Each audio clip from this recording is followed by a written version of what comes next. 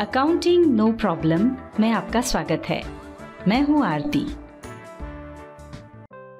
Tally Prime की इस video series के आज के अध्याय में हम आपको बताएँगे अकाउंट क्या है और ये अकाउंट्स कितने प्रकार के होते हैं। जैसा कि हमने आपको पिछली वीडियो में बताया था कि डबल एंट्री सिस्टम में प्रत्येक लेन देन दो खातों को प्रभावित करता है। साथ ही अकाउंट की परिभाषा भी बताई थी। पर अकाउंट्स के प्रकार समझने के पहले हमें ऐसा लगता है कि अकाउंट की परिभाषा आपको यहाँ पर एक बार फिर से बता दें। तो पहले हम ये समझते हैं कि खाता क्या होता है। जब किसी व्यक्ति विशेष, वस्तु, सेवा या आय व्यय इत्यादि से संबंधित समस्त लेन देन एक निश्चित स्थान पर तिथिवार और नियमानुसार रखे जाते हैं तो उसे उसका खाता यानी अकाउंट कहते हैं। किसी भी खाते के दो पक्ष होते हैं डेबिट साइड यानी नाम पक्ष और क्रेडिट साइड यानी जमा पक्ष। डेबिट साइड बाई तरफ़ होता है और क्रेडिट साइड दाई तरफ़ होता है। हम इसे एक उदाहरण से समझ लेते हैं।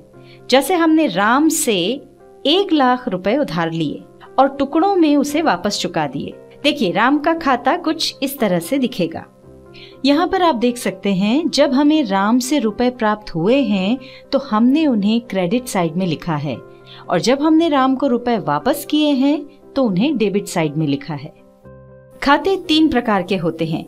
व्यक्तिगत खाते यानी पर्सनल अकाउंट्स। व्यक्ति, संस्था या उनके प्रतिनिधि से संबंधित खातों को व्यक्तिगत खाते कहते हैं। इन्हें तीन श्रेणियों में बांटा गया है। पहला है प्राकृतिक या स्वाभाविक खाते यानी नेचुरल पर्सनल अकाउंट्स सृष्टि के सृजन के द्वारा व्यक्ति बना है। ये प्रकृति प्रदत्त है। अतः सभी व्यक्तियों के नाम से संबंधित खाते, जैसे राम, श्याम, मोहन, व्यापार के स्वामी का पूंजी खाता इत्यादि खाते इसी श्रेणी में आएँगे। दूसरा है कृत्रिम खाते, यानी आर्टिफिशियल पर्सनल अकाउंट्स कृत्रिम खातों में व्यवसाय से जुड़ी हुई निगम और संस्थाओं से संबंधित खाते आते हैं, जैसे बीमा, बैंक, व्यापारिक संस्था, सभी लेनदार और देनदार इत्यादि। तीसरा है प्रतिनिधित्व खाते रिप्रेजेंटेटिव पर्सनल अकाउंट्स प्रतिनिधित्व खाते व्यक्ति या समूह का प्रतिनिधित्व करते हैं। जैसे, अदत्त, यानी आउटस्टैंडिंग वेतन का खाता, जो उस कर्मचारी के खाते का प्रतिनिधित्व करता है, जिसकी सैलरी ड्यू हो चुकी है। यानी देना थी, पर दी नहीं गई। सिर्फ़ उसका प्रोविज़न कर लिया गया है। ये तो हमने बात की पर्सनल अकाउंट्स की।